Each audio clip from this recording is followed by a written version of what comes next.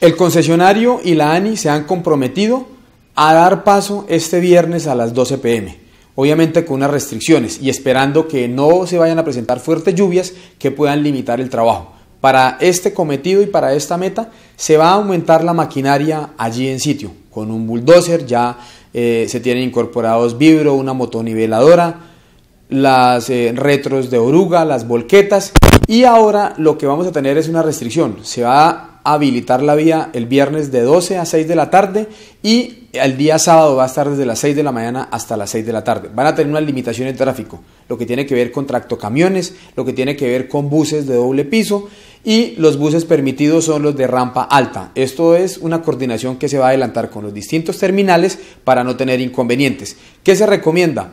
Hacer caso a los llamados que va a hacer la policía y los controladores eh, viales. Es una noticia positiva y también va a haber eh, un compromiso que a partir del 2 de enero van a empezar con unos estudios para el trabajo a mediano plazo, que es lo que tiene que ver con una base, una subbase, una imprimación y paralelo a ello se va a trabajar con eh, geotecnia para revisar cómo va a ser todo el cálculo estructural que tiene que darse para una solución definitiva.